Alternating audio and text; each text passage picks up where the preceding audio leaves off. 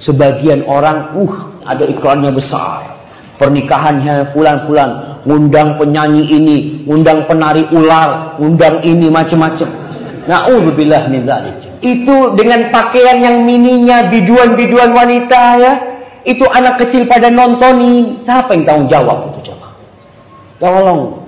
Pernikahan itu kan mencari ridha Allah. Biasanya ditulis mohon doa restu. Kau minta doa, tapi kau melakukan sesuatu yang Allah murkahi. Gimana itu terjadi?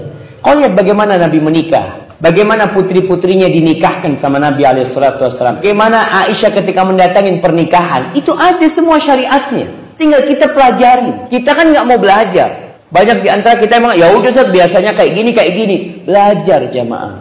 Wakul Rabbi zidni ilmu. Minta tambahan ilmu agar kita faham. Dengan ilmu kau faham mana yang halal, mana yang haram, mana yang boleh dan mana yang tidak boleh.